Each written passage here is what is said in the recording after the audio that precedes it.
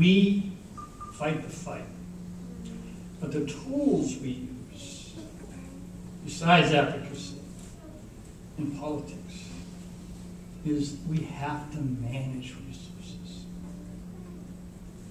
Remember, the government appropriates, it authorizes. Foundations meet and they authorize, but they hand off those ammunition to us. And from the time they've done that until the time that money and resources is used at the other end to accomplish the mission, we are accountable. We have to do an awful lot of things that money and resources. But one of the things we have to do is prove that we can manage it. Prove we have to manage it, and we have to prove that we're good at it. And you do that. You know what? Be proud of that. You have an opportunity. I feel it every day. I think I can build big buildings, create big ideas. Somebody gives a million dollars or fifteen dollars. What could I do? How do I count?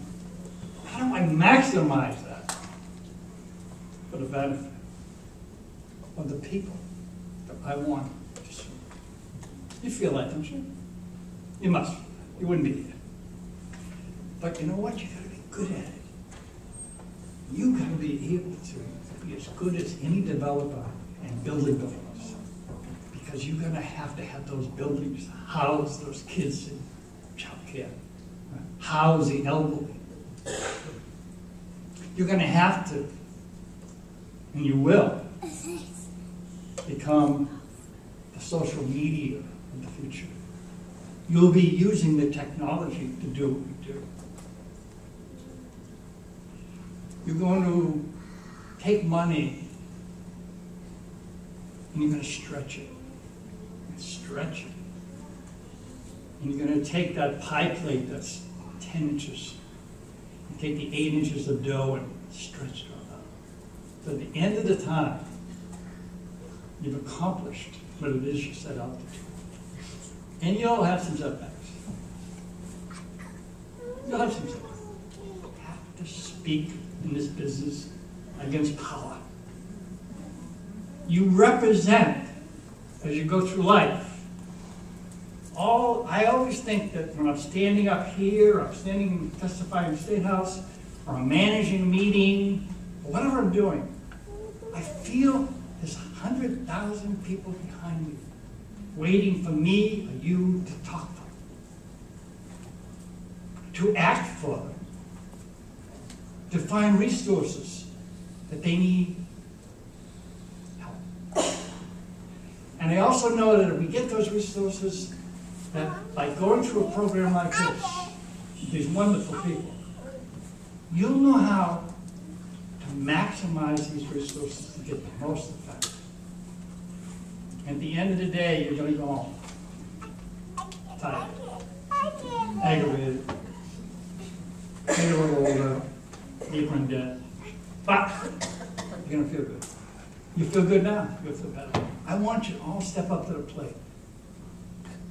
I want you to think, I can, I can be Mr. Drew. Or anybody. Because, why not? Somebody has to do it. Somebody has to get up and say, it can be done. We don't accept no. We don't accept misery. Today is to get resources. But we've gotta push against the structure of power, be it Wall Street or whatever, so that we end up, end up being at the table, not on the menu. Hmm. We gotta be at the table. And I think what you've done here at Suffolk and what you're gonna do in the future, you will go forth, you will use all those skills, and you will enjoy it. You'll be tired. I mean, I started at six foot five, Plus or minus. I have enjoyed my ride. I have got great satisfaction out of using the tools I have, how I was able to get them, taking that into an organization where I had a great leader, where we said, the most important thing is education. Education at all levels.